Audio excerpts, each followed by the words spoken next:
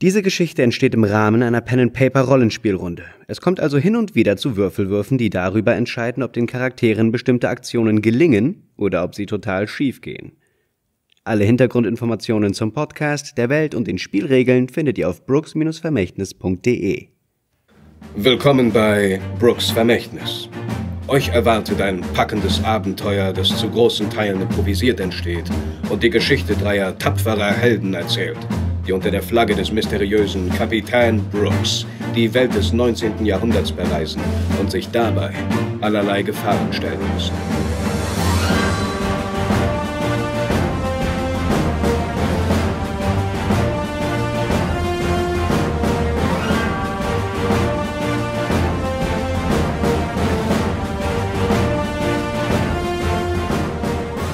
Bevor das Abenteuer beginnt, werfen wir einen Blick auf seine Hauptfiguren.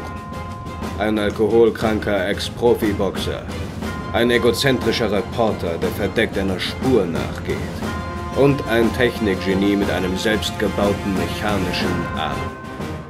Heute mit Ray Walter Smith, ehemals bekannt als Mighty Ray, Profiboxer mit Welterfolg. Doch wie bei so vielen Berühmtheiten folgte auch auf sein Karrierehoch ein tiefer Fall. Hey Barkeeper, ich könnte hier noch mal ein volles Glas gebrauchen. Ist dein Glas schon wieder leer? Das kann doch nicht sein. Jetzt laber hier doch nicht so lang rum und schenk nach. Bitte. Du solltest dich lieber auf den Nachhauseweg machen und dich eine Runde aufs Ohr hauen. Gleich ist Sperrstunde und du hattest sowieso mehr als genug. Du, du weißt wohl nicht, wer ich bin. Geht das schon wieder los? Siehst du diese Fäuste hier? hä? Diese Fäuste hier? Ja, ich sehe die Fäuste. Das sind keine normalen Fäuste. Das sind Waffen. Früher, da haben die Leute gezittert, wenn sie diese Fäuste gesehen haben. Bitte setz dich wieder hin. Zack, zack. Kinnhaken.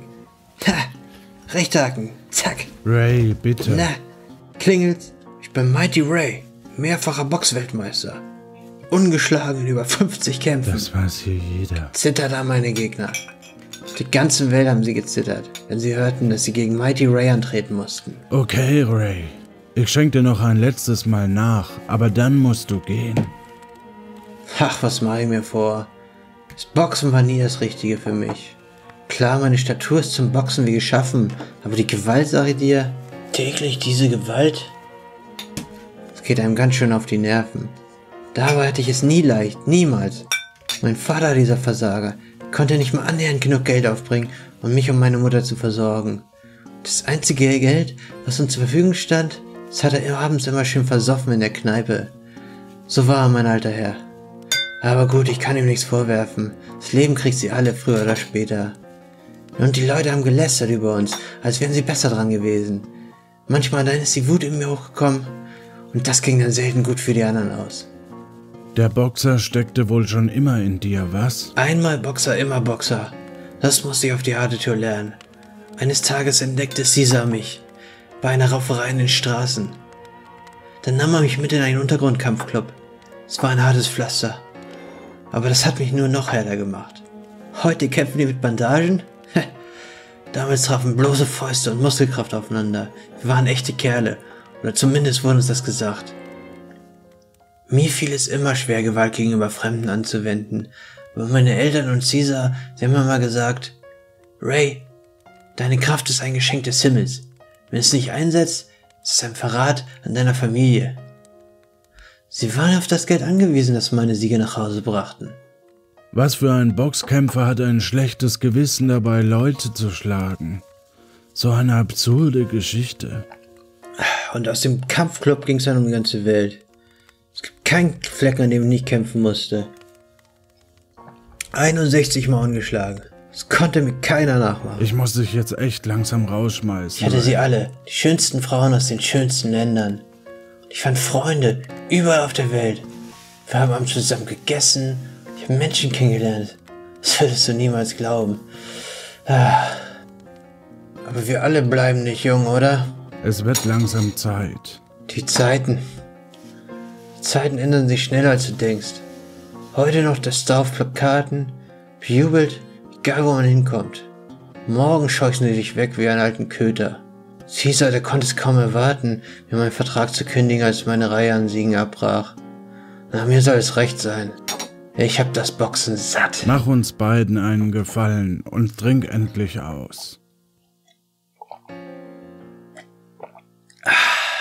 Du hast echt ein beachtliches Leben hinter dir, Ray. Aber jetzt musst du mal endlich wieder auf die Beine kommen. Bist ein guter Typ, Ray. Hast das Herz am rechten Fleck. Jemand wie du, der sollte doch etwas anderes aus seinem Leben machen können, als betrunkene Jugendliche auf einem Jahrmarkt zu verprügeln. Das sagst du so, das sagst du so.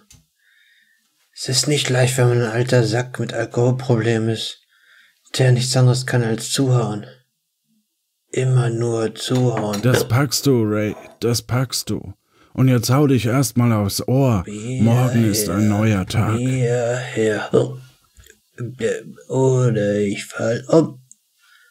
Bier her, Bier her, oder ich fall um. Wenn ich dich gleich ein Bier bekomm, schmeiß ich die ganze Kneipe um. Bier Gute Zeit, her, Ray.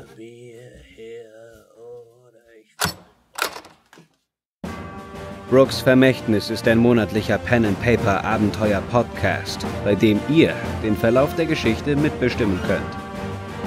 Ab dem 2. Oktober beginnt das offizielle Abenteuer.